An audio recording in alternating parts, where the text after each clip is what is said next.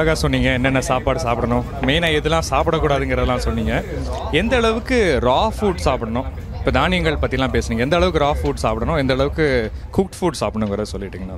அதாவது உணவை பொறுத்த வரைக்கும் வந்து நம்ம ரொம்ப நெடுங்காலமாக தீயை என்னைக்கு கண்டுபிடிச்சோமோ அதுக்கப்புறம் நம்ம அதை வந்து சமைக்க ஆரம்பிச்சிட்டோம். நம்மளுடைய ஜீரண நம்ம உடலுடைய உடல் ஃபிசியாலஜியில் ஒரு ச சமைக்காத உணவையும் ஜீரணிக்கிற அளவுக்கு ஆற்றல் இருந்தது. இப்போ இருக்கா அப்படின்னு கேட்டால் அதில் கொஞ்சம் கேள்விலாம் இருக்குது எல்லா உணவையும் பச்சையாக தான் சாப்பிடணும்னு ஒரு ஃபிலாசபிக்கலாக அதை அப்ரோச் பண்ணக்கூடிய பீப்புள் கொஞ்சம் இருக்காங்க. பட் வந்து அது முழுமையாக ஏற்றுக்கொள்ளக்கூடியதில்லை. சில உணவுகளை ஒரு ஆஃப் பாயில்டாவோ கொஞ்சம் வந்து சமைத்தோ சாப்பிடும்போது அதனுடைய உட்கிரகிக்கிற தன்மை வந்து சிறப்பாக இருக்குது அப்படிங்கிறது அறிவியல் பூர்வமாக ப்ரூ ப்ரூவ் பண்ணியிருக்காங்க. அதனால் முழுமையாக ரா தான் எடுக்கணும் அப்படிங்கிற அவசியம் இல்லை. அனதர் திங் வந்து நம்முடைய வயிற்று உள்ளே இருக்கக்கூடிய நிறைய நுண்ணுயிரிகள் இருக்குது கட் பயாலஜின்னு சொல்லுவாங்க. அவையெல்லாம் வந்து சில நேரத்தில் நம்ம சவ ச செரிக்காமல் அதாவது சமைக்காமல் சூடாக்காமல் சாப்பிடக்கூடிய உணவுகளில் அதில் ஒரு வேளை சில பாக்டீரியாஸ் இருந்ததுனாலோ அதில் வேறு சில ஒத்துக்கொள்ளாத உடலுக்கு தீங்கு செய்யக்கூடிய சில நச்சுக்கள் இருந்ததுன்னா அது அந்த கட்பயோவையும் அஃபெக்ட் பண்ணும் அப்படிங்கிற ஒரு தியரி இருக்குது அதனால் தடாலடியாக நம்ம வந்து போக வேண்டாம். சில காய்கறிகளை ஆரம்பத்துலேருந்தே நம்ம பச்சையாக தான் சாப்பிட்றோம். அதில் குறிப்பாக பார்த்தீங்கன்னா வெள்ளரிக்காய் வெங்காயம் அதுலேயும் ரொம்ப முக்கியமாக வந்து சின்ன வெங்காயத்தை நம்ம வேக வச்சு சாப்பிடக்கூடாது. சின்ன வெங்காயத்தை வந்து சாம்பார் வெங்காயம்னு சொல்கிறோம்ல அந்த சின்ன வெங்காயத்தை நம்ம தயிர் பச்சடி செய்கிறப்ப பெரிய வெங்காயம் தான் நிறைய பயன்படுத்துகிறோம் அதுக்கு பதிலாக சின்ன வெங்காயத்தை பயன்படுத்தலாம். அந்த வெங்காயத்துலேயும் வெளி பக்கத்தில் இருக்கக்கூடிய தோல் தான் ரொம்ப சிறப்புங்கிறான். நம்ம வந்து ரெண்டு பக்கம் மூக்கு வெட்டி அப்படியே பொழந்து பாதி தூக்கி வெளியே போட்டுறோம். அப்படி போடக்கூடாது. அந்த மெல்லிய தோலை மட்டும் அது உரிக்க கொஞ்சம் கஷ்டம்தான். இருந்தாலும் முடிஞ்ச வரைக்கும் எவ்வளோ முடியுமோ எடுத்துட்டு அது ஏன்னா அது இல்லை முழுசாக அப்படியே கழுவிட்டு சாப்பிட்டாலும் தப்பு கிடையாது.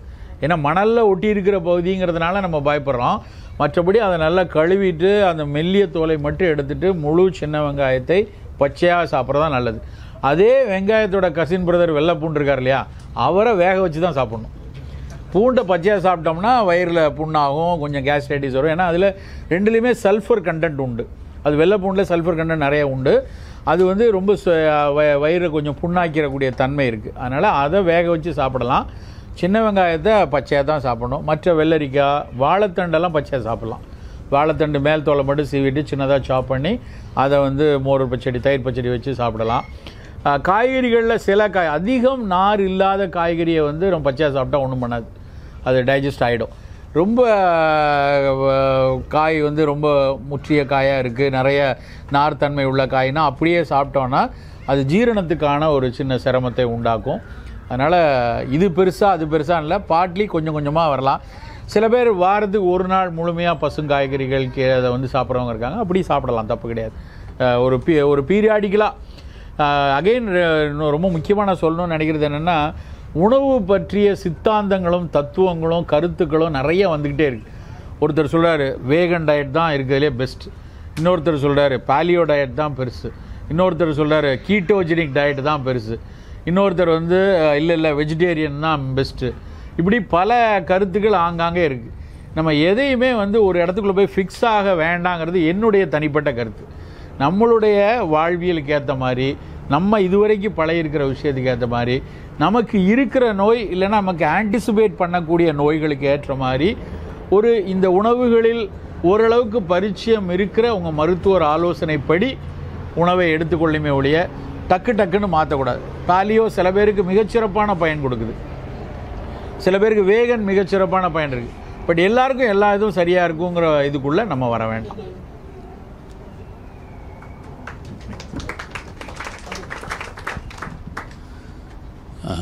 இப்போ நான் வந்து வெஜிடேரியன் ஐயா. என்னோட ஏற்கனவே சொன்ன மாதிரி என் ஃபேமிலியில் டாக்டர்ஸ்லாம் இருக்காங்க. அப்போ உனக்கு சரியான புரோட்டீன் கிடைக்காது குட் கொலஸ்ட்ரால் கிடைக்காது இதெல்லாம் விட்டு பியூர் வெஜிடேரியனில் அதெல்லாம் இல்லை அப்படின்ட்டு சொல்கிறாங்க ஸோ வெஜிடேரியனாக இருந்துக்கிட்டோம் இந்த சத்துக்கள்லாம் கிடைக்கிறதுக்கும் உங்களுடைய அட்வைஸ் என்ன? இல்லை அது நவீன அறிவியலினுடைய பார்வையில் நிறைய இன்றைக்கும் கொஸ்டின் பண்ண முடியாத கொஸ்டின் கொஸ்டின் பண்ணிக்கிட்டு இருக்கிற விஷயங்கள் நிறைய இருக்குது குறிப்பாக பார்த்தீங்கன்னா வெஜிடேரியன் உடனே உடனே ரெண்டு விஷயம் நிறைய பேசப்படும். ஒன்று ப்ரோட்டீன் இன்னொன்று வந்து விட்டமின் பி டுவெல் வெஜிடேரியனுக்கு பி டுவெல் சோர்ஸே கிடையாதுங்கிறாங்க. டோட்டலாக பி டுவெல்க்கு வந்து ஒன்று பால் குடித்தா பி டுவெல் கிடைக்கலாம். வெஜிடேரியனில் பால் சாப்பிட்டா. ஒரு வேகனாக இருக்கக்கூடிய பால் சாப்பிடாத பியூர் வெஜிடேரியனாக இருக்கிற ஒருத்தருக்கு பீட்ரோல் டெஃபிஷியன்சினால் வரக்கூடிய பெர்னீஷியஸ் அனிமியாக வர்றதில்லை. ஒரு பெரிஃபரல் நியூரைட்டிஸ்ன்னு சொல்லுவாங்க அது வர்றதில்லை. அப்போ அவருக்கு அந்த பீட்டோல் செய்கிற வேலையை யார் செய்கிறா இந்த கேள்வி வருது இல்லையா? அவருக்கு வந்து அப்போ அவருக்கு அது பயனுள்ளதாக பீட்டோல் தான் பீட்டோல் இருந்தால் தான் இரும்பு சத்து அப்சர்ப் ஆகி அந்த இரும்பு வந்து மெதுவாக அந்த ஹீம் வளரக்கூடிய அந்த ஆர்பிசி வளரக்கூடியதுக்கான மிக முக்கியமான சத்து வந்து பீட்டோல் அப்போ அது கம்ப்ளீட் வெஜிடேரியனாக இருக்கிறவங்க எல்லாருமே பெர்னீஷியஸ் அனிமியாவில் இருக்காங்களான்னு பார்த்தா யாரும் இல்லை. ஸோ அதனால் அறிவியல் வந்து ரொம்ப தட்டையாக நவீன அறிவியல் வந்து நிறைய விஷயங்களை ஃப்ளாட்டாக தான் பார்க்குது. இன்னும் வந்து ஒரு முழுமையாக வேரியஸ் ரேசஸில் வேரியஸ் கல்ச்சுரல் ப்ராக்டிசஸில் எப்படி எப்படிலாம் உடலில் மாறி இருக்குங்கிற ஒரு தீர்மானமான முடிவுகள்லாம் வர்றதில்லை. அதனால் வெஜிடேரியனாக இருந்தால் நோய்வாய்ப்படணும் அப்படிங்கிற அவசியம்லாம் கிடையாது நம்பர் ஒன் எத்தனையோ வெஜிடேரியனாக இருந்து நல்லா இருக்கவங்க இருக்காங்க. ரெண்டாவது புரோட்டீன் பொறுத்த வரைக்கும் நம்ம உடம்புல இரு- ஒரு இருபது எசென்ஷியல் அமினோ ஆசிட்ஸ் தேவைப்படுது அப்படின்னா நான்வெஜ்ஜில் அவங்க நிறைய ஆராய்ச்சி பண்ணியிருக்காங்க. அடிப்படை காரணம் அதுதான். உலகத்தில் தொண்ணூத்தொம்பது பர்சன்ட் தொண்ணூத்தஞ்சு பர்சன்ட் நான்வெஜ்ஜாக தான் இருந்தான். அதனால் அதில் ஆய்வுகள் நிறைய. ஒரு பீஃபில் இருக்கக்கூடிய ப்ரைம் கட் அப்படின்னு சொல்லக்கூடிய முதுகு பகுதியிலிருந்து எடுக்கக்கூடிய ஒரு பீஃப் வந்து உலகத்தின் மிகச்சிறந்த ஒரு பீஃபும்பாங்க இன்னொன்று டெண்டர் லைன்பாங்க முதுகு பகுதியிலிருந்து எடுக்கக்கூடிய டெண்டர் லைன் அதுதான் இருக்கிறதுலே ரொம்ப சுவை ரொம்ப சிறப்பானது அப்படின்னு ஆய்வு நடத்தியிருக்காங்க.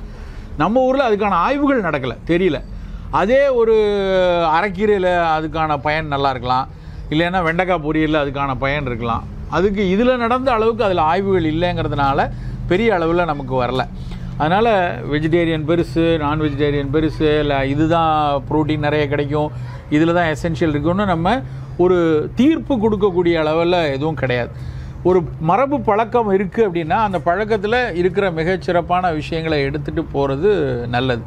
அப்புறம் ரொம்ப அன்ஃபார்ச்சுனேட்டாக நம்ம ஊரில் இந்தியா மாதிரியான நாடுகளை குறிப்பாக இந்தியாவில் உணவை வைத்து ஜாதிய அமைப்பு உணவை வைத்து ஏற்றத்தாழ்வு உணவை வச்சு வந்து பெரியவன் சிறியவன்கிற பேச்சு வந்து ரெண்டாயிரம் வருஷமாக இருக்குது அது வந்து ஒரு மிக ஒரு ஒரு சோஷியல் இன்ஜஸ்டிஸான விஷயம். சமூகத்தினுடைய ஒரு மிக தவறான ஒரு விஷயம். நம்ம மாற வேண்டிய விஷயம்.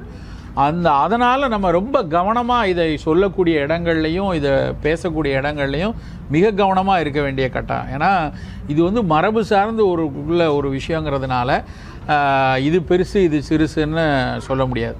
நீங்கள் வந்து முழுமையாக நிறைய மாட்டிறைச்சி சாப்பிட்ற இதிலிருந்து மிகச்சிறப்பான அறம் சார்ந்த மனிதர்கள் எத்தனையோ பேர் இருக்காங்க.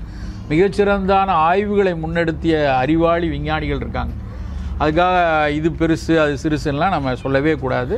பழக்கம் நம்மளுடைய காலச்சூழல் நம்மளுடைய வாழ்வியல் அதை ஒட்டி எது இது ஒரு தனி மனிதனின் தேர்வாக இருக்கணுங்கிறதா என்னுடைய முடிவு.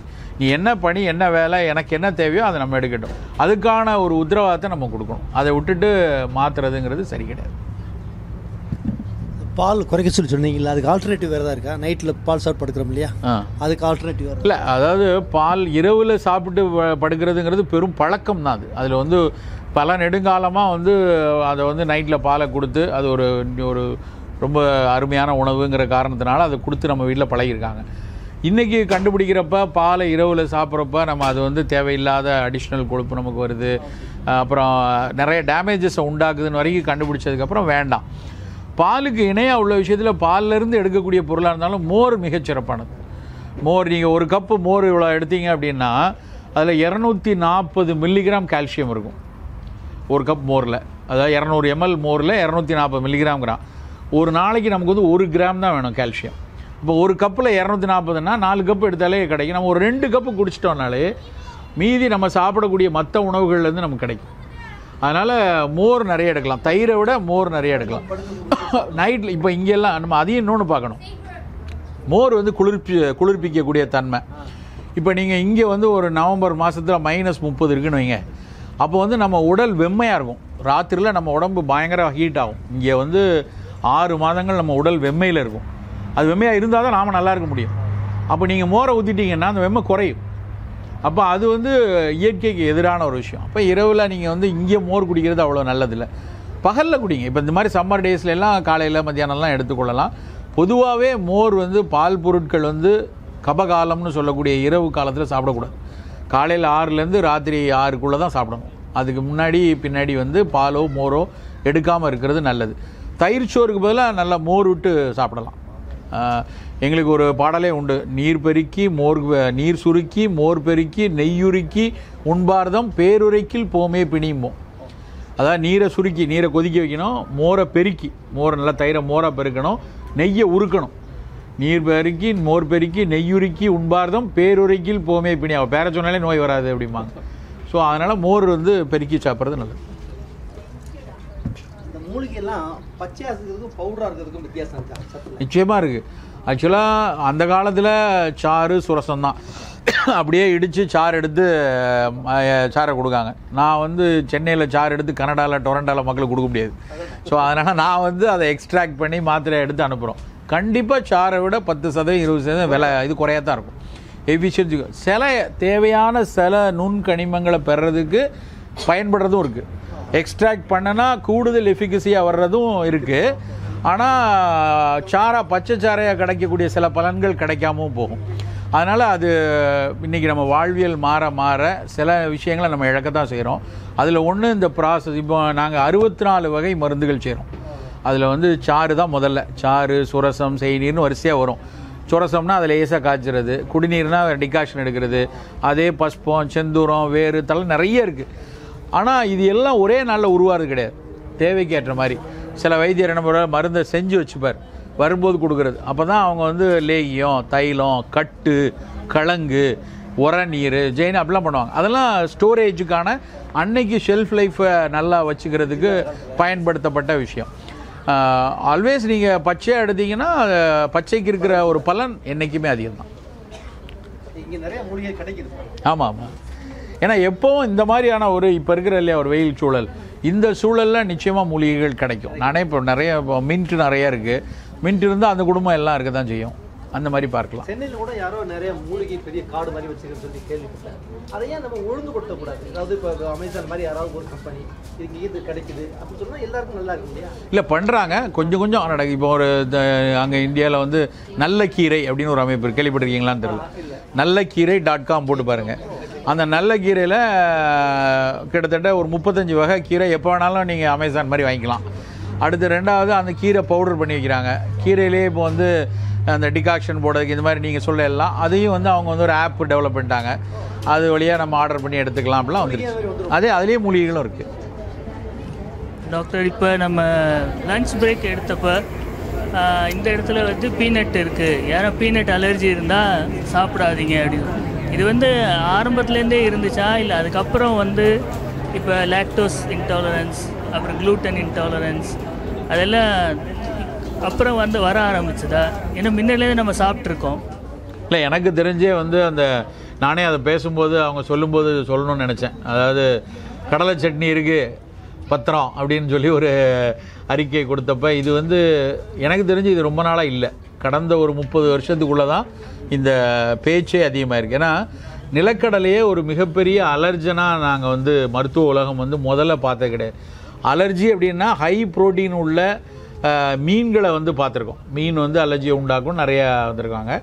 கடலையில் ஆராய்ச்சி பண்ணவங்க அதில் சில அமினோ ஆசிட்ஸ் எல்லாம் கண்டுபிடிச்சி இதில் மீனில் இருக்க மாதிரி இதுலேயும் வந்து அந்த அலர்ஜிக் தன்மை உருவாக்கக்கூடிய தன்மை இருக்குதுன்னு அவங்க தெரிஞ்சதுக்கப்புறம் அதனுடைய பேச்சு வந்து அதிகமாக இருக்குது ஆனால் இன்னொரு விஷயம் பொதுவாக நம்ம நோய் எதிர்பார்த்தல் அளவும் நம்ம மாறிக்கிட்டே வரும். காலத்தினால மாறிட்டே இருக்கும் இப்போ இந்த அட்டோபிக் டெர்மடைட்டிஸ்ன்னு சொல்லக்கூடிய அந்த அட்டோபிக் எக்ஸிமா தான் இங்கே குழந்தைங்களுக்கு அதிகமாக இருக்கிறது. அதாவது பிறந்த உடனே வரும் கழுத்தில் கையிலெல்லாம் கருப்பு கருப்பாகி அப்படியே அரிப்பு பிச்சு எடுத்து பத்து பதினோரு வயசு வரைக்கும் சஃபர் ஆகிறத நிறைய குழந்தைங்க இருப்பாங்க. வெறும் ஸ்டிராடல் க்ரீமோ மாய்ஸ்சரைசரோ போட்டு போட்டு வைப்பாங்க. அந்த மாதிரி குழந்தைங்க வந்து நிறைய எப்படி பார்த்தோம் அப்படின்னா இந்தியன் மதர்ஸ் குழந்தை அமெரிக்காவில் பிறக்குது குழந்தை கனடாவில் பிறகு இங்கே யூகேல பிறக்கவங்களுக்கு கொஞ்சம் அதிகமாக இருக்குது இந்தியாவிலே பிறக்கிற குழந்தைகளை விட வெளிநாட்டில் பிறக்கிற குழந்தைகள் அதிகமாக இருக்குது நாங்கள் இதை பற்றி எங்களுடைய பீடியாட்ரிஷியன்ஸ் அங்கெல்லாம் உட்காந்து நாங்கள் டிஸ்கஸ் பண்ணுவோம் why atopic eczema is higher in the abroad children abroad citizen ஏன் இருக்குது அப்படின்னு பார்த்தா ஒரு விஷயம் என்ன தோணுதுன்னா ஒரு தாய் வயிற்றில் அந்த குழந்தை வளரும்போது தாயுடைய தகவமைப்பு படி அதெல்லாம் டெவலப் ஆகிட்டு வரும். ஒன்ஸ் அது வெளியே ஸ்டெரைலாக தானே இருக்குது குழந்தை. குழந்தை வெளியே வந்த உடனே இட் எக்ஸ்போஸ் வித் ஆல் இங்கே இருக்கிற எல்லா இதுக்கும் எக்ஸ்போஸ்க்குள்ள அடுத்த மூணு மணி நேரத்துக்குள்ளே அந்த உடலுக்குள்ளே ஏகப்பட்ட மாற்றம் உருவாகுது அப்படிங்கிறாங்க. அந்த குழந்தையோட வயிற்றில் அதனுடைய இரத்த ஓட்டங்கள் எல்லாம் வருது அப்படிங்கிறாங்க. ஒருவேளை அது ஒரு ஹைப்போதிசிஸ் தான். வெளியே இதில் வரும்போது இங்கே இருக்கிற தகவமைப்புக்கு ஏற்ற மாதிரி தன்னுடைய இம்யூன் சிஸ்டத்தை அது மாத்திரப்ப நடக்கிற ஒரு முயற்சியாக கூட அது இருக்கலாம். ஏன்னா இச்சிங்கிறது வந்து ஒரு அது வந்து ஒரு நோய் இல்லை. அவங்களுக்கு ஈஸ்னோ ஐஜிஇன்னு சொல்லக்கூடிய இம்யூனோகுளோபுலின் இ e வந்து அக்ரவேட் ஆகுது. அந்த குழந்தைங்க எல்லாருக்கும் பார்த்தீங்கன்னா நாங்கள் எங்களுடைய அளவில் பார்த்தீங்கன்னா ஒரு இரநூத்தம்பதுக்குள்ளே இருக்கணுமோ. ஐம்பது இங்கே எந்த யூனிட்னு தெரில ஐம்பதுலேருந்து டூ ஃபிஃப்டி இன்டர்நேஷ்னல் யூனிட் இருக்கணுமோ. பட் இங்கே ஒரு அட்டோபிக் சைல்டுடைய ஒரு குழந்தைய ஒரு ஒரு மூணு வயசு குழந்தை எக்ஸிமா குழந்தைங்க எடுத்து பார்த்தீங்கன்னா பத்தாயிரம் இருக்கும். இரநூத்தம்பது இருக்குது பத்தாயிரம் இருக்குது அடுத்த நாள் அது ஆறாயிரம் ஆகும். திடீர்னு ஐநூறு ஆகுது. இந்த மாற்றம் வந்து அந்த ஐஜி லெவல் வந்து இங்கே இருக்கிற என்விரான்மெண்ட்டுக்கு அதுக்கேற்ற மாதிரி அது மாறுதா? அதில் தான் அந்த பீனட்ஸ் எல்லாம் சாப்பிட்டா கடுமையாக அது வந்து அந்த ஐஜி லெவல் கூடும் அப்படிங்கிறதுனால தான் அதை வந்து வேண்டாங்கிறாங்க. அது உண்மையில் நடக்கவும் செய்யுது. சில குழந்தைங்களுக்கு அனஃபிலாக்சிஸாக மூச்சு திணறல் வர்ற அளவுக்கு கொண்டு போய் ஸ்டிராடல் ஷார்ட்ஸ் போடுற அளவுக்கு ஆகுது. அதுலேயுமே தேங்காய் எண்ணெயில் அவ்வளோ வராது. கடலெண்ணெயில் பீனட் அலர்ஜி இருக்கிற குழந்தைங்க கடலெண்ணெயுமே அவாய்ட் பண்ணுறது தான் நல்லது. அதுவும் ஒரு சிக்பி தானே. அதுவும் ஒரு கடலெண்ணெய் தவிர எல்லாமே கடலெண்ணெய்லையும் அந்த வருது. சிக்பியும் மற்ற கொண்டக்கடலை அதுலேயும் கொஞ்சம் கவனமாக இருக்கணும். எல்லாம் அந்த குரூப்பில் இருக்க ஹை புரோட்டீன் இருக்கிற தானியங்கள் எல்லாத்தையுமே கொஞ்சம் குறைவாக தான் எடுத்துக்கணும். நம்ம சமையல் சா நம்ம இந்தியன் சாப்பாட்டுக்கு தேங்காய் எண்ணெய் கடலெண்ணெய் நல்லெண்ணெய் அதிகமாக யூஸ் பண்ணுறோம் அதுவே போதுங்களா? அதுவே போதும். நீங்கள் வந்து பெஸ்ட்டு வந்து நல்லெண்ணெய்மா இருக்கிறதுலே மிகச்சிறந்த எண்ணெய் நல்லெண்ணெய். நல்லெண்ணெய். கொஞ்சம் பொரிக்கிறதுக்கு வறுக்கிறதுக்கெல்லாம் கடலெண்ணெய் பயன்படுத்திக்கலாம். சீசனிங் மாதிரி பயன்படுத்துகிற இடத்துல தேங்காய் எண்ணெய் பயன்படுத்திக்கலாம். நல்லெண்ணெயும் சீசனிங்காக பயன்படுத்திக்கலாம். கொஞ்சம் நம்ம பொரிக்காமல் வைக்கிறதுக்கு இதை பயன்படுத்திக்கலாம். வேறு வேற எண்ணெய்கள் பயன்படுத்தி இப்போ கெனோலாலாம் பார்த்தீங்கன்னா நிறைய ஜிஎம்ஓங்கிறாங்க ஜெனட்டிக்கலி மாடிஃபைடு தான் இங்கே நிறைய கிடைக்கிது கெனோலா ஆயில் ஸோ அது எந்த அளவுக்கு பய பயனுள்ளது? ஏன்னா அதை பற்றி இப்போ நான் நேற்று வந்து அங்கே டெலஸ் வேர்ல்ட் ஆஃப் சயின்ஸ்னு ஒரு எக்ஸிபிஷன் ஆள் போனேன். எட்மண்டனில் ரொம்ப முக்கியமான ஒரு அறிவியல் இது. அதில் என்விரான்மெண்ட்டுன்னு ஒரு ஃப்ளோர் வச்சுருக்காங்க. அதில் மொதல் இதே வந்து கெனோலா பற்றி தான் ஒரு டிபேட் ஓடுது. ஜெனட்டிக்கலி மாடிஃபைடு இது வந்து ஃபங்கஸ்லாம் இல்லையே நல்லா இருக்கே அப்படின்னு ஒருத்தர் சொல்கிறாரு இன்னொருத்தர் இல்லை இல்லை அது பல பிரச்சனையை உண்டாக்குது. ஸோ கெனோலா ஜிஎம்ஓ கெனோலா வேண்டாம் அப்படிங்கிறாங்க. இங்கே கனோலாவை மிக அதிகமாக உற்பத்தி செய்கிற நாட்டில் அதுவும் ஜிஎம்ஓ கெனோலா நிறையா இருக்கிற இடத்துல அவங்களே இந்த டிபேட்டில் இருக்காங்க. இப்போ நம்ம ஊரில் இப்போ தான் கடுகை வந்து ஜிஎம்ஓ மாற்றுறதுக்கான விஷயங்கள் பெரிய டிபேட் ஓடிக்கிட்டு இருக்குது ஸோ அப்படி இருக்கும்போது அந்த சர்ச்சையெல்லாம் முடிச்சு நீங்கள்லாம் எல்லாம் முடிவெடுத்து எது நல்லதுன்னு சொல்லுங்கப்பா. அது வரைக்கும் நாங்கள் பயன்படுத்தலைன்ட்டு சொல்கிறதா என்னோட ஸ்டாண்டு நம்ம முழுமையாக நூறு சதவீதம் பாதுகாப்புன்னு சொன்னதுக்கப்புறம் நம்ம பயன்படுத்திக்கலாம். ஏன்னா ஒரே சயின்டிஸ்ட்டு இவரும் நோபல் லாரேட்டு அவரும் நோபல் லாரேட்டு இவரும் ஒரு பெரிய ரிசர்ச்சராக இருக்கார் அவரும் பெரிய ரிசர்ச்சராக இருக்கார். ரெண்டு பேருக்குள்ளே இவ்வளோ பெரிய டிபேட் இருக்கும்போது ஏன் நேச்சரோடு ஒத்துட்டு போயிடுவோமே அதான் என்னுடைய வாதம். ஸோ நீங்கள் தேங்காய் எண்ணெய் கடலை நல்லெண்ணெய். ஆனால் எப்போவுமே ஒரு விஷயம் இனிமேல் நம்ம எண்ணெயை குறைச்சி தான் பயன்படுத்தணும். அன்னைக்கு வந்து பாரதிதாசன் பாடல் எழுதின மாதிரி அப்படி பின்னால் ஊடி நெய் வெளியே இப்படி சாப்பிட்டோம். அப்படிலாம் நம்ம இனிமேல் எண்ணெய் எடுக்கக்கூடாது? நம்ம உடல் உழைப்பு குறைஞ்சி போச்சு. அதனால் நமக்கு ஆயில் கண்டிப்பாக நம்ம குறைவாக தான் பயன்படுத்தணும். அந்த குறைவாக பயன்படுத்துறதையும் இந்த மாதிரி செக்கில் ஆட்டின மரச்செக்கில் ஆட்டின எண்ணெய்களாக அந்த மூணு எண்ணெய் பயன்படுத்தினா நல்லது. அப்புறம் உப்புல வந்து இப்போ ஹிமாலயன் சால்ட்னு சொல்லி ஒரு பிங்க் கலரில் கிடைக்குது. இந்து உப்பு. அது அது நல்லது. இல்லை அதுவும் ஒரு பெரிய விஷயம். என்னென்னமா கல் உப்புன்னு நார்மலாக கடலில் தூத்துக்குள்ளேருந்து எடுத்து வந்து அப்படியே மண்ணில் உப்பளத்தில் வச்சு அதை அப்படியே வந்து பவுடர் பண்ணி கொடுத்தாங்க. அதுதான் உப்பாக இருந்துச்சு. நம்ம எல்லாருக்குமே ஞாபகம் இருக்கும். நம்ம வீட்டில் யாராவது ஒருத்தர் வாசலில் தாத்தா ஒருத்தர் வந்து ஒரு மர வண்டியில் உப்பு உப்பேன்னு ஊற்றிட்டு போயிருப்பார். வீட்டிலேருந்து ஒரு நாளியில் வந்து வெளியே வந்து உப்பு அள்ளி வாங்கி வச்சோம். அப்படி தான் நம்ம எல்லோரும் வச்சுருந்தோம். இன்றைக்கி அப்படி உப்பு கிடையாது. இன்றைக்கி வந்து என்றைக்கு நேஷ்னல் அயோடின் பாலிசி வந்ததோ ஐயோ சாரி அதுக்கப்புறம் வந்து உப்பு வந்து ஒன்லி அயோடைஸ்டு சால்ட் மட்டும்தான் விற்கணும்னு கொண்டு வந்துட்டாங்க. ஸோ இது வந்து என்ன ஆச்சு அப்படின்னா கடலில் கிடைச்ச உப்பு வரும்போது நிறைய கடலில் இருக்கக்கூடிய பல வேற வேறு மினரல்ஸ் கிடச்சிது அதில். ரொம்ப ட்ரேஸாக தான் இருக்கும் ரொம்ப குட்டியாக தான் இருக்கும் ஆனால் நல்ல எலமெண்ட் கிடச்சிது. சில ஆர்கானிக் காம்பவுண்ட்ஸோட ரெசிடியூஸும் கடல் உப்பில் இருந்தது. ஆனால் இன்றைக்கி இந்த இண்டஸ்ட்ரியலைஸ்டு சால்ட் வந்து அயோடைஸ்டு சோடியம் குளோரைடு அதுதான். உப்பு வேறு சோடியம் குளோரைடு வேறு. சோடியம் குளோரைடு உப்பில் இருக்குது அவ்வளோதான் ஆனால் மற்ற கனிமங்களை எல்லாம் மிஸ் பண்ணோம். அப்போ என்ன தோணுச்சு எல்லாருக்கும் ஆல்டர்னேட்டிவாக கனிமங்கள் நிறைய இருக்கிற உப்பு வந்து கட ஹிமாலயன் சால்ட்டு ஹிமாலயன் சால்ட் தெரியும்ல? அது வந்து ஆக்சுவலாக ஹிமாலயன் சால்ட்டில் மேஜர் சோர்ஸ் வந்து பாகிஸ்தான் தான். பாகிஸ்தானில் இருக்கக்கூடிய இமயமலை தொடரில் ஒரு பகுதியில் தான் வெட்டி வெட்டி எடுக்கிறாங்க. பெரிய பெரிய பாலமாக எடுக்கிறாங்க. அந்த அந்த சால்ட் வந்து நிறையா மற்ற அந்த மலையோட வரக்கூடிய பல மினரல்ஸும் சேர்ந்து இருக்கிறதுனால நல்லது. அப்படின்னா அது வந்து இந்துப்புன்னு சொல்லுவாங்க. ஒரு ரோஸ் கலரில் இருக்கும். சயந்தா லவணம்னு பேர். அந்த பிங்க் கலரில் இருக்கும். அது வந்து அதுலேயும் சோடியம் குளோரைட் இருக்குது ஸோ கம்பேரிட்டிவ்லி இன்றைக்கி மார்க்கெட்டில் இருக்கிற இந்த வெறும் அயோடைஸ்டு சோடியம் குளோரைடை விட இந்த சயந்த லவணத்தில் கூடுதல் மினரல்ஸ் நமக்கு நல்லதெல்லாம் இருக்குது ஆனால் ஒரு விஷயம் என்ன அப்படின்னா உங்களுக்கு ரத்த கொதிப்பு இருக்குது அப்படின்னாலோ இல்லை சிறுநீரகத்தில் பிரச்சனை ஆரம்பிக்குன்னா அது எந்த உப்பாக இருந்தாலும் குறைச்சி தான் ஆகணும். அது ஹிமாலயன் சால்ட்டு தானே நான் வந்து போட்டு சாப்பிடுவேன்னு சாப்பிடக்கூடாது. இது ஒன்று ஒரு சூழலியலாளனா நான் வந்து ஒரு என்விரான்மெண்டல் ஆஸ்பெக்ட்லேயும் பார்க்குறேன். என்விரான்மெண்டல் ஆஸ்பெக்டில் பார்க்கும்போது ஹிமாலயன் சால்ட் வந்து ஒரு சால்ட் உருவாகிறதுக்கு தொள்ளாயிரம் வருஷம் ஆகுதான். அந்த பாறை வந்து நைன் ஹண்ட்ரட் இயர்ஸ் ஆனால் தான் அது உருவாகுதுங்கிறான். ஆனால் மக்கள் இன்னைக்கு மார்க்கெட்டில் வந்து ஹிமாலயன் சால்ட்டு ஜெயித்ததுனால வெட்டி தள்ளுறாங்க ஹிமாலயாவை.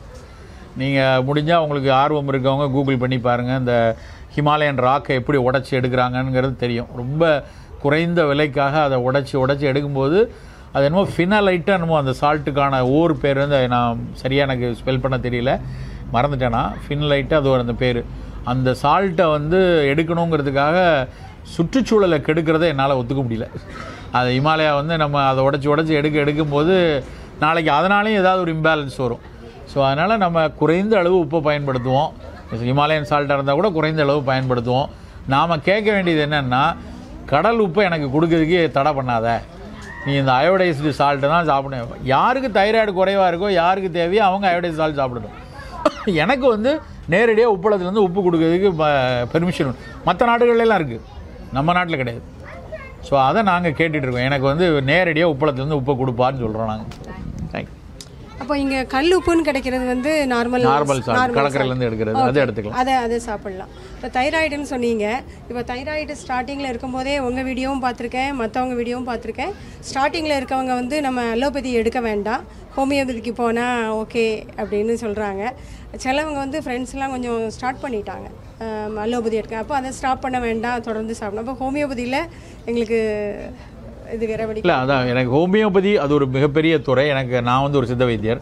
ஸோ ஹோமியோபதியில் எனக்கு பெரிய லெவலில் இப்போ இதில் பரிச்சயம் கிடையாது. மிகச்சிறந்த மருந்துகள் அதில் இருக்குது பொதுவாக நாங்கள் என்ன கருது அப்படின்னா வந்து தைராய்டு லேசாக அதாவது டிஎஸ்ஹெச்னு சொல்லுவோம். தைராய்டு ஸ்டிமுலேட்டிங் ஹார்மோன் வந்து ஒரு ஃபோர் பாயிண்ட் ஃபைவ் ஃபைவ் வரைக்கும் இருக்கலாம். அந்த தைராய்டு ஸ்டிமுலேட்டிங் ஹார்மோன் வந்து ஒரு பத்துக்கு மேலே பதினொன்றுக்கு மேலே போச்சுன்னா சப்ளிமெண்ட் கொடுக்கணும் அப்படிங்கிறது மருத்துவ நியதி. இந்த அஞ்சுலேருந்து பத்து இருக்கு இல்லையா? அந்த பீரியட் வந்து ஒரு ஒரு டிரான்சிட் பீரியட்னு வைக்கலாம். ஹைப்போதைராய்டிசத்தை நோக்கி போகிறாங்கன்னு எடுத்துக்கலாம். நீங்கள் அது மாதிரி அஞ்சுலேருந்து பத்து பதினொன்றுக்குள்ளே போகிறவங்களா இருந்தால் டக்குன்னு தைராய்டு சப்ளிமெண்ட் தைராக்சின் சப்ளிமெண்ட் போகாமல் முழுக்க ஃபிசிக்கல் ஆக்டிவிட்டி பிராணாயாமா யோகாலாம் பண்ணால் அந்த தைராய்டு கிளாண்ட் ஸ்டிமுலேட் ஆகிறதுக்கான வாய்ப்பு நிறையா. இல்லை எனக்கு இருபத்தஞ்சு இருக்குது டிஎஸ்ஹெச் அப்படின்னா நீங்கள் கண்டிப்பாக சப்ளிமெண்ட் எடுத்துக்கணும். அது ஏதாவது ஒரு ஹோமியோபதியில் இருந்தால் ஹோமியோபதியில் எடுத்துக்கோங்க. சித்த வைத்தியமோ ஏதோ ஒரு இடத்துல சப்ளிமெண்ட் எடுத்துக்கணும். இப்போ எங்கள் இதில் பொறுத்த வரைக்கும் எங்களை சப்ளிமெண்ட் கிடையாது. நாங்கள் வந்து தைராய்டை ஸ்டிமுலேட் பண்ணக்கூடியது தான் கொடுக்குறோம் வெளியே சப்ளிமெண்ட் இல்லை. அதனால் நாங்கள் என்ன பண்ணுறோன்னா நீங்கள் சப்ளிமெண்ட்டை கொஞ்சம் எடுத்துக்கோங்க. இருபத்தஞ்சு இருக்குன்னா நீ எடுத்துக்கோ. ஏன்னா ஆணை விட பெண்ணுக்கு தைராய்டுடைய பங்குல நிறைய இருக்குது அவங்களுடைய கரு முட்டைகள் உடையிறதுக்கு அந்த ஃபாலிக்கல் ஸ்டிமுலேஷன் கொடுக்கறது தைராய்டு தான். தைராக்சின் கிளாண்டு தான். அப்போ அந்த தைராக்சின் சரியாக இல்லை அப்படின்னா அந்த ஸ்டிமுலேட் ஆகாது. அப்போ வந்து என்ன ஆகும்? அந்த பொண்ணுக்கு வந்து மாதவிடாய் தள்ளி தள்ளி போகலாம் சில நேரத்தில் வெயிட் பஃபினஸ் வந்துட்டே இருக்கும். மிக்சடிமேட்டஸாக வரும். ஒன்ஸ் இந்த மாதிரி வந்துச்சுன்னா ரிவர்ஸ் பண்ணுறதும் கஷ்டம். ஸோ அதனால் அப்படி இருக்கிறவங்க உங்களுடைய அளவை பொறுத்து உங்கள் மருத்துவர்கிட்ட கேட்டு அதை ஒரு இருபத்தஞ்சு இருக்குது ப முப்பதுலாம் இருக்குன்னா மாத்திரையை போட்டு கண்ட்ரோல் பண்ணிவிட்டு பேரலெல்லாம் நல்லா பிராணாயாம பயிற்சி விபரீத கரணி கபாலபாதி மாதிரியான யோகா அதுக்கப்புறம் சில மருந்துகள் இருக்குது அந்திமந்தாரை மாதிரி பட்டையில் கொடுப்போம். அந்த மருந்துகளை கொடுத்து அந்த தைராய்டு கிளாண்டை ஸ்டிமுலேட் பண்ண கொடுத்தோன்னா அப்போ நார்மலாகிறதுக்கு வாய்ப்பு இருக்குது நீங்கள் என்னடாக்கெலாம் மருந்து அனுப்புறீங்களா? முயற்சித்துட்டு இருக்கோம். கனடாலேயே வந்து ஒரு வெல்னஸ் சென்டர் ஆரம்பிக்கிறதுக்கான முயற்சி இருக்குது அதாவது இங்கே வந்து ஒரு மருத்துவம் வந்து மருந்துகளை வந்து கொடுக்கறதுல ஒவ்வொரு நாடுகளுக்கு இடையில நிறைய பிரச்சனைகள் இருக்குது அதாவது இந்திய மருந்துகளை வந்து வெளிநாடுகள் கொண்டு போனால் சில அனுமதிகள்ல எல்லாம் நிறைய பிரச்சனை இருக்குது அதனால் நாங்கள் என்ன எடுத்துகிட்டு இருக்கோம்? இப்போ நான் இவ்வளோ நேரம் பேசுனேன். எங்கேயும் மருந்து நான் சொல்லலை. இவ்வளோ நேரம் பேசுனதும் மருத்துவம் தான் இதுவும் நோயை குணப்படுத்துகிறது தான் அதை ஏன் நம்ம வந்து ஒரு வெல்னஸ் சென்டராக கொண்டு வரக்கூடாது? அதில் வந்து இந்த மாதிரியான யோக பயிற்சி இந்த மாதிரி உணவு பழக்க வழக்கங்கள் இந்த மாதிரியான ஃபங்க்ஷனல் ஃபுட்டுன்னு சொல்லக்கூடிய ஹெர்பல் டீஸ் இந்த மாதிரி விஷயங்களை எடுத்துகிட்டு வரலாம் அப்படிங்கிறதுக்காக எங்களோட நிறுவனம் ஆரோக்கியா சித்த மருத்துவமனை நிறுவனம் வந்து கிட்டத்தட்ட ஏழு பிரான்ச் இருக்குது எங்களுக்கு. சென்னையில் சென்னையில் ரெண்டு இருக்குது மற்ற ஊர்கள்லேயும் இருக்குது ஸோ நாங்கள் அடுத்த கட்டமாக வந்து அமெரிக்காலேயும் கனடாலேயும் வெல்னஸ் சென்டர் உருவாக்குறதுக்கான முயற்சி எடுத்து இறங்கியிருக்கோம். இன்னொரு ஆறு மாதங்களுக்குள்ளே ஆரம்பிச்சிருவோம்னு நம்பிக்கை இருக்குது அதில் வந்து இந்த பயிற்சிகளும் இதுக்கான என்னென்ன நோய் வராது இருக்கு மெயின் அப்ஜெக்டிவ் என்னென்னா நோய் வராது இருக்கிறதுக்கு ரெண்டாவது சப்போர்ட்டிவாக நீங்கள் என்ன சிஸ்டம் மருந்து எடுத்துகிட்டு இருந்தாலும் சப்போர்ட்டிவாக இருக்கிறதுக்கு அப்புறம் இந்தியாவிலேருந்து என்ன மருந்துகள் கிடைக்கிறதுக்கு அனுப்புறதுக்கு என்ன பண்ண முடியும்? இது எல்லாத்தையும் சேர்த்த ஒரு ஒரு வெல்னஸ் சென்டர் உங்கள் எல்லாரோட ஆதரவில் விரைவில் இங்கே ஆரம்பிப்போம்னு நான் சொல்லிக்கிறேன். வணக்கம் டாக்டர். ரொம்ப சிறப்பான விஷயங்களெல்லாம் எங்களுக்கு சொல்லிட்டு இருக்கீங்க இப்போ ஒரு பெண்ணுன்றவள் வந்து ஒரு நாற்பது வயசு வரும்போது நிறைய டயர்ட்னஸ் அவங்க உடம்புல இருக்குது. அது ஓவர் கம் பண்ணுறதே ஒரு பெரிய ஒரு சேலஞ்சாக இருக்குது அந்த மாதிரி இருக்கும்போது அவங்களுக்கு என்ன அட்வைஸ் ப்ளஸ் அவங்க ஒர்க் அவுட் பண்ண போகிறாங்க பண்ணுறாங்க அப்படின்னா அவங்களோட மசில்ஸ் எல்லாம் ரொம்ப டீப் பெயினாக இருக்குது அந்த பெயின்லேருந்து வர்றதும் அவங்களுக்கு ஒரு பெரிய ஒரு சேலஞ்சாக இருக்குது. அது ரெண்டுக்கும் என்ன தீர்வு? முதல் வந்து அந்த மெனப்பாசல் டைமு அப்புறம் போஸ்ட் மெனப்பாசல் ப்ரீ மெனப்பாசல் டைமில் மட்டும்தான் ஒரு பெண்ணுக்கு ஒரு டிரான்சிஷன் பீரியட் இருக்குது அந்த டிரான்சிஷன் பீரியட் ரியலாக ஒரு சேலஞ்சிங் விஷயந்தான் அந்த சேலஞ்சிங் விஷயத்தில் நம்ம கொஞ்சம் அடிஷ்னலாக சில எஃபர்ட் போட்டு தான் ஆகணும். இப்போ வந்து அந்த காலத்தில் இருந்த மாதிரியான ஓய்வும் சரி பெரிய அளவிலான மன அழுத்தமும் இன்றைக்கி கிடையாது. ரெண்டுமே விடுபட்டுருக்கோம் அன்றைக்கி இருந்த காலத்தில் ஓய்வு இருந்தது கூடவே கடுமையான சோஷியல் ப்ரெஷரும் இருந்தது ஒரு பெண்ணுக்கு. இன்றைக்கி கொஞ்சம் பரவாயில்ல. ஓரளவுக்கு லிபரல் ஆகிட்டு வருது. ஆனால் ஓய்வு இல்லை. கடுமையாக ஓடி உழைக்க வேண்டிய கட்டாயத்தில் இருந்துகிட்ருக்கோம் இந்த சூழலில் ஃபஸ்ட்டு வந்து உணவில் கேர் எடுக்கணும். அதுவும் குறிப்பாக நாங்கள் பெரிய போஸ்ட் மெனப்பாசல் டைமில் வந்து ரொம்ப வலியுறுத்தி சொல்கிறது வந்து உளுந்து. நல்ல தொலி உளுந்து வந்து நிறைய சேர்த்து உணவில் சேர்த்துக்கோங்க. நீங்கள் சப்பாத்திலாம் சாப்பிட்றதா இருந்தால் அந்த தால் செய்கிறப்ப அந்த பாசிப்பயிரோடு சேர்ந்து முழு உளுந்தையும் போட்டு தாலாக பண்ணி சாப்பிட்லாம். நம்ம ஊரில் உளுந்தஞ்சோறுன்னு செய்வோம் இல்லையா? உளுந்தஞ்சோறு வித்து வந்து எள்ளு துவையல் வச்சு சாப்பிடுவாங்க. அது மாதிரி உளுந்தஞ்சோறு எடுத்துக்கலாம். உளுந்தங்கஞ்சி சாப்பிடலாம். இதெல்லாம் வந்து ஒரு ஃபீமேலுக்கான ஒரு ஃபைட்டோ ஈஸ்ட்ரோஜன் கொடுத்து ஸ்ட்ரென்தன் பண்ணக்கூடிய விஷயம். ஏன்னா ஈஸ்ட்ரோஜன் ஸ்லைட் இம்பேலன்ஸ் வரும்போது போத் உங்களுடைய உடல் ரீதியாகவும் ஒரு வலு குறைந்த நிலைமை இருக்கும். உளவியல் ரீதியாகவும் ஒரு வலு குறைந்த நிலைமை இருக்கும். ரெண்டையும் ஸ்ட்ரென்தன் பண்ணணும்னா உளுந்து தான் பெட்டர் ஸோ அது உளுந்த ஃபஸ்ட்டு சப்போர்ட்டுக்கு வச்சுக்கோங்க. நல்ல சிவந்த நிறமுள்ள பழம். பப்பாளி மாதுளை தக்காளி பழம். அது மாதிரி பழங்கள் நல்ல கருஞ்சி உப்பு சிவப்பு உள்ள பழங்களை ரெகுலராக எடுத்துக்கோங்க. இது ரெண்டையும் வச்சுக்கோங்க. எடுக்கக்கூடாதுன்னா எண்ணெயில் வதக்குனது கோழிக்கறி. இந்த ரெண்டையும் வந்து முடிஞ்ச வரைக்கும் குறைச்சிக்கோங்க. இது இல்லாமல் ரொம்ப முக்கியமாக சொல்கிறது வந்து மூச்சு பயிற்சி. நல்ல பிராணாயம் பயிற்சி. இங்கே நிறைய யோகா கிளாஸஸ் அங்கங்கே நடத்துவாங்க. எங்கேயாவது ஒரு இடத்துல உங்களுக்கு தெரிஞ்சதில்லை இல்லைன்னா ஊர்களுக்கு வரும்போது ஒரு வாரம் பத்து நாள் கற்றுக்கிட்டா போதும். பெரிய வித்தையெல்லாம் கிடையாது. நல்ல மூச்சு பயிற்சியை கற்றுக்கிட்டு தினசரி காலையில் நைட்டு மூச்சு பயிற்சி எடுத்துக்கணும்.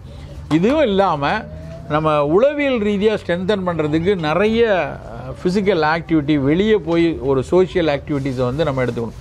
எப்போ நம்ம உள்ளுக்குள்ளேயே முடங்கி நேரோவாக போகிறோமோ அப்போ வந்து நமக்கு அந்த பிரச்சனைகள் மேலே மேலே பல மடங்கு அதிகரிக்கிறதுக்கான வாய்ப்பு இருக்கும். ஸோ அப்படி ஆகாமல் கொஞ்சம் நம்ம ஒரு சோஷியலாக ஒரு இன்வால்வ்டாக இருக்கிறதுக்குரிய விஷயத்தையும் வச்சுக்கணும். அந்த நேரத்தில் தான் வீட்டில் இருக்கவங்களுடைய சப்போர்ட்டும். பொதுவாக நாற்பத்தைந்து வயதுகளில் கணவருடைய சப்போர்ட் ரொம்ப எமோஷ்னல் சப்போர்ட் எமோஷ்னல் குஷனிங் இது ரொம்ப. ஏன்னா நாற்பது வயதில் இருக்கும்போது பிள்ளைகள் நம்ம பேச்சு கேட்காது. அவங்களுக்கு ஒரு உலகம் உருவாயிரும். அப்போ அவங்க அந்த உலகத்தோடு போகும்போது எனக்கு தெரியும் எல்லாம். அப்படிங்கிற ஃபஸ்ட் ஆன்சர் தான் நம்மளை இரிட்டேட் பண்ணோம் ரொம்ப. என்ன இவ்வளோ நாள் நம்ம பேச்சு கேட்டாங்க இன்றைக்கி கேட்கல அப்படிங்கிற ஒரு ஃபீலிங் வரும். ஆனால் அது அவங்களுக்கான உலகம் தேடி தேடிடுச்சேம்பாங்க ஆங்கிலத்தில் இதை வந்து அழகாக என்ன சொல்கிறேன்னா ஃப்ரீ நெஸ்ட் சின்ரோம் அப்படிமா ஒரு தாய்ப்பறை வந்து தினம் வந்து தன்னோட குழந்தைகளுக்கு வந்து சாப்பாடு கொடுத்துக்கிட்டே இருக்கும். ஒரு நாள் போய் பறந்து எல்லா இற இறையை எடுத்துகிட்டு வந்து பார்த்தா ஒரு பறவையும் இருக்காதுங்க ஏன்னா அந்த பறவையெல்லாம் இறக்க வந்து பறக்க ஆரம்பிச்சிடும் ஸோ இது வந்து பார்த்த உடனே பறவை குஞ்செல்லாம் காணமேன்ட்டு ஒரு மாதிரி ஒரு சைக்கலாஜிக்கலி டிப்ரெஸ்ட் ஆகிடுது அந்த பறவை. இதெல்லாம் வந்து ஆர்னித்தாலஜிஸ்ட் சொன்ன விஷயங்கள். ஸோ அப்படி ஆகும்போது ஒரு ரெண்டு மூணு நாளைக்கு ஒரு டிப்ரெஸ்டில் இருக்கும். அது வந்து அதுக்கப்புறம் தான் தெரியும் இல்லை நம்ம குழந்தைங்கலாம் போயாச்சு அவங்கவுங்க வாழ்க்கை தனியாக போயிடுச்சுன்னு தெரியும். ஸோ இந்த மாதிரியான சின்ட்ரோமை தான் அந்த போஸ்ட் பெனபாசல் சின்ட்ரோத்தோட க ஒப்பிடுறாங்க. ஸோ உலகத்தில் இனிமேல் நமக்கு சார்ந்து இருக்க வேண்டியவங்க கணவரும் நம்மளை சார்ந்து இல்லை பிள்ளைகளும் நம்மளை சார்ந்து இல்லை அப்படிங்கிறத ஏற்றுக்கொள்ளாத மனம் இருக்கு இல்லையா? அது ரொம்ப பதட்டப்படும். ரொம்ப பரபரப்பாகும் கோபம் வரும். மன அழு தனியாக உட்காந்து எங்கேயோ அழணும்னு தோணும். இல்லைன்னா வேர்த்து ஊற்றும் இது எல்லாமே அந்த மெனப்பாசல் சென்றதோடு உள்ளது. சித்த மருத்துவம் இதை பூரா பித்தத்தோடு பார்க்குது. ஒரு பித்தம் அதிகரித்த ஒரு நிலையில் நடக்கக்கூடிய சூழல் எல்லாம் பித்தமும் மனமும் ஒன்றான விஷயம்தான். ஸோ நாங்களும் அப்படியே தான் பார்க்குறோம் அதை. பித்தத்தினுடைய ஆதிக்கமாக பார்க்குறோம். ஸோ இதை சரி பண்ணணும்னா முதல்ல உளுந்து நல்ல பழங்கள் அப்புறம் நல்ல மூச்சு பயிற்சி அப்புறம் உளவியல் ரீதியாக ஃபேமிலி சப்போர்ட்டு நிறையா அதனால தான் கணவருக்கான ரோலை சொல்கிறோம் அந்த நேரத்தில் வந்து கூடுதலாக ஒரு எமோஷனல் குஷனிங்கோடு சேர்ந்து எடுத்துக்கலாம். நான் சில புத்தகங்கள் கொண்டு வந்திருக்கேன். என்னோடய புத்தகம் இருக்குன்னு நினைக்கிறேன் கொஞ்சம். அதில் வந்து நான் ஸ்பெசிஃபிக்காக அந்த மருந்தின வேண்டாவாம் உயிர்மைன்னு சொல்லி ரெண்டு இது அது ரெண்டுமே அதை பற்றின நிறைய விஷயங்கள் எழுதியிருக்கிறேன். அது வள்ளிக்கண்ணன்ட்ட இருக்குது புத்தகங்கள். நீங்கள் உங்களுக்கு வேண்டியவங்க அதை வாங்கி படிச்சீங்கன்னா கொஞ்சம் டெப்த்தாக நம்ம நிறைய பேச முடியாதனால அதையும் படிச்சுக்கலாம். இப்போ ஃபிசிக்கல் ஆக்டிவ் இப்போ ஜிம்முக்கு போகிறாங்க பெண்கள் ஆனா- ஆண்களோ சரி பெண்களோ சரி போகும்போது extreme muscle zones dilate zones எல்லாம் வருது. அதெல்லாம் எப்படி ஓவர் கம் பண்ணுறது ஒரு காரணம் என்னென்னா இந்த சாகிங் ஆஃப் மசில் இருக்குல்ல இப்போ உதாரணமாக அந்த கை மசில் வந்து நாற்பதுகளுக்கு அப்புறம் ரொம்ப தொங்கி போகும். இந்த சாகிங் மசில் இது ஆணை விட பெண்ணுக்கு கொஞ்சம் அதிகமாக இருக்கும். சாகிங் வந்து அப்டமன் சாக் ஆகுது டெலிவரி டைமில் பெல்விக்கு வந்து நல்லா எக்ஸ்டெண்ட் ஆகுது. திரும்ப ரீகன்ஸ்ட்ரக்ட் ஆகும்போது அந்த பழைய ஸ்ட்ரென்த்தில் மசில் வந்து ஃபிட் ஆகாது. ஸோ அப்படி மசில் வந்து துள தொங்கி விடும் அப்படி ஒரு சாக் ஆகுது அந்த சாகிங் வந்து ம இயல்பாகவே மேலே விட ஃபீமேலுக்கு நிறைய இருக்கிறதுனால அந்த ஸ்ட்ரென்தனிங் எக்ஸசைஸும் அவங்களுக்கு ஆரம்பத்துலேருந்தே நிறைய இருக்கணும். நீங்கள் தொடர்ச்சியாக யோகாவும் எக்ஸசைஸ் பண்ணால் மட்டும்தான் அந்த மசில் ஸ்ட்ரென்த் வந்து நல்லா எடுத்துகிட்டு வரும். ஒன்லி தான் கூடுதல் முயற்சி தான். முயற்சி எடுத்து தான் கொண்டு வரணும். வலியை பற்றி கவலைப்பட வேண்டியதில்லை. வலி தான் பெயின் இஸ் த கெயின் ஆக்சுவலாக அதை வந்து மனசை வச்சு எமோஷனலாக அதை வந்து இல்லை நல்லது நல்லதுன்னு நினச்சி நம்ம பண்ண பண்ண தான் மசில் ஸ்ட்ரென்தனிங் வரும். வலிக்குது ஒரு ஃபைப்ரோமயாலஜிக் பெயினுமாங்க ரொம்ப பெயினாக இருக்குது ஃபைப்ரோமயாலஜி ஆமாங்க அது மாதிரி இருந்ததுன்னா அஸ்வகந்தா மாதிரி சப்போர்ட் எடுத்துக்கலாம். அஸ்வகந்தா வந்து ஒரு நல்ல அமுக்குறாங்கிழங்குன்னு பேர். அது இந்த இன்ஃப்ளமேட்ரி இதெல்லாம் குறைக்கும். மஞ்சள் நிறைய எடுத்துக்கலாம். ஒரு ப்ரோ இன்ஃப்ளமேட்ரியாக இருக்கக்கூடிய விஷயங்களை குறைக்கிறதுக்கு மஞ்சள் உதவியாக இருக்கும். ஸோ மஞ்சள் கிழங்கு வச்சுருந்தீங்கனாலும் அரைச்சி சாப்பிட்லாம். இல்லை மஞ்சள் தூளை வந்து உணவில் சேர்த்து எடுத்துக்கலாம். இந்த மாதிரியான இன்ஃப்ளமேஷன்ஸ் குறையும்.